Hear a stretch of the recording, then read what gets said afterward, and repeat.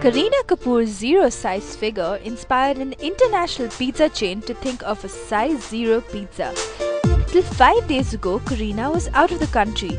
However, she was surprised about the news when sister Karishma Kapoor informed her of becoming pizzalicious. Kareena is also very happy receiving such a tribute as she is an avid pizza lover herself. Meanwhile, the size zero pizza features a thin crust with healthy vegetable toppings and low-fat cheese.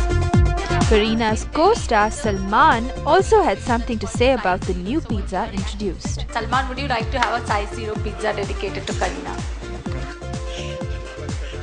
Um, I'm uh, sure she'd be really proud to be associated with uh, with uh, that size uh, zero uh, pizza. Uh, speak to her agent on that, and uh, if they sign up, I'm sure I'll have that pizza.